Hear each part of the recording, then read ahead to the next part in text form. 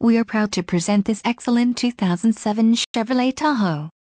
This Tahoe has a 5.3 LV8 engine and an automatic transmission.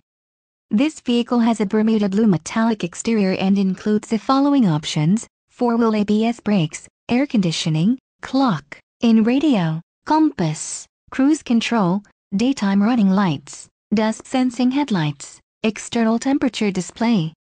Contact our internet sales staff today to schedule an appointment.